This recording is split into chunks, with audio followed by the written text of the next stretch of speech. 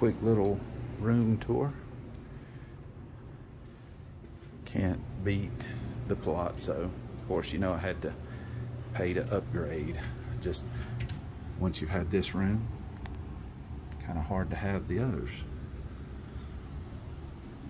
Absolutely fabulous. Had this room before. Well, not this one, but ones like it. So, yeah.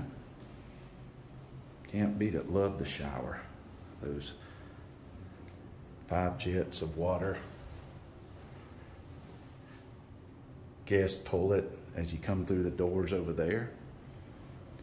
Palazzo, baby. Love the view. Much better than the strip, strip view to me, because you can see the mountains, the golf course, the Wynn. Just lovely.